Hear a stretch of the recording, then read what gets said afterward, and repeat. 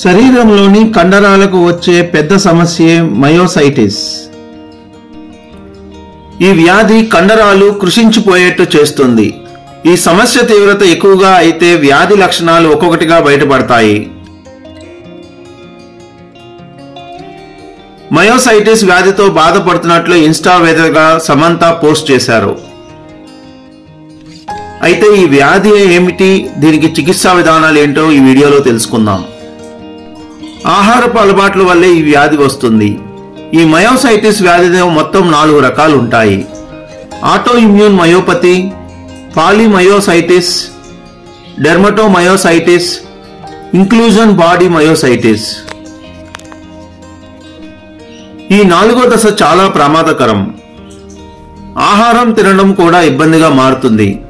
గొంతు కండరాలపై ప్రభావం చూపుతుంది. ఈ వ్యాధి ఎందుకు వస్తుందంటే మన శరీరంలోని రక్షక దళాలే శరీర కండరాల కణాలను పరాయి కణాలుగా భావించి వాటిపై దాడి చేస్తాయి. అలాంటి సందర్భంలో శరీరంలోని కండరాలు దెబ్బతింటాయి. శరీరంలోని తెల్ల రక్త కణాలు విడుదల చేసే కెమికల్స్ కండరాలపై ప్రభావం చూపిస్తుంటాయి. దీని ప్రభావంతో మయోసైటిస్ వ్యాధి వ్యాప్తి చెందుతుంది.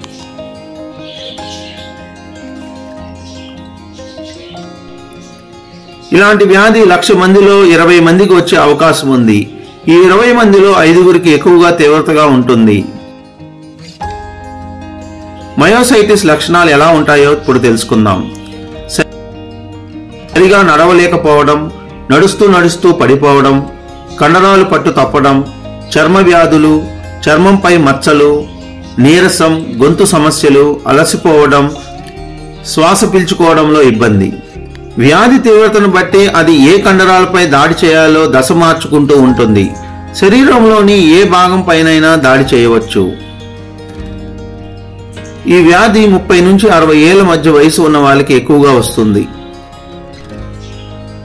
మయోసైటిస్కు వంద శాతం చికిత్సలు అందుబాటులో ఉన్నాయి.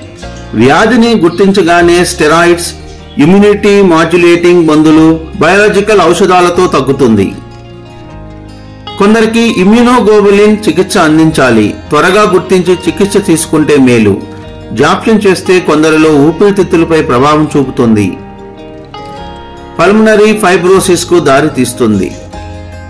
ఒత్తిడిని తగ్గించుకుని జీవన శైలిలో మార్పులు చేసుకోవాలి. వైరల్ కొన్ని రకాల మందుల వల్ల మయోసైటిస్లు వచ్చిన తర్వాత తగ్గిపోతాయి. ఆటో ఇమ్యూన్ కారణంగా వచ్చే మయోసైటిస్కు కొన్నిసార్లు దీర్ఘకాలంగా మందులు వాడాలి.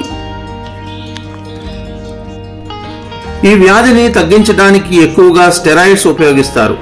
సహజ సిద్ధంగా ఈ వ్యాధిని తగ్గించుకోవచ్చు. కండరాల నొప్పులు ఎక్కువగా ఉంటాయి కాబట్టి వాటిని తగ్గించుకునే పరిష్కారం కూడా ఉంది. ఆవ నూనె ముద్ద కర్పూరం కలిపి దాన్ని వేడి చేసి ఆ వేడి నూనెతో మసాజ్ చేసుకుని వేడి నీళ్ళ కాపడం పెట్టుకుంటే ఉపశమనం ఉంటుంది. కండరాలకు చాలా రిలీఫ్ ఇస్తుంది. ఏ భాగంలో అయితే నొప్పి ఎక్కువగా ఉంటుందో అక్కడ వేడికట్లు కట్టుకొని కాపడం పెట్టుకోవాలి. పండ్లు కూరగాయలు ఆకుకూరలతో సమతూలాహారం తీసుకోవడంతో పాటు ప్రతిరోజు గంట సేపు వ్యాయామం కూడా చేస్తూ ఉంటే ఇవి తరహా వ్యాధులకు దూరంగా ఉండవచ్చు. ఈ వ్యాధి బారిన పడిన వారికి ఫిజియోథెరపీ స్ట్రెచ్చింగ్ వ్యాయామాలు యోగా వంటివి చాలా ఉపయోగకరంగా ఉంటాయి. అలాగే ఈ వ్యాధి పట్ల నిర్లక్ష్యంగా వ్యవహరిస్తే ప్రాణాంతకంగా మారుతుందని హెచ్చరిస్తున్నారు. వీడియో కనుక నచ్చినట్లయితే మీ బంధువులకు స్నేహితులకు షేర్ చేయండి. అలాగే మా ఛానల్కు సబ్స్క్రైబ్ అవ్వండి. Bye bye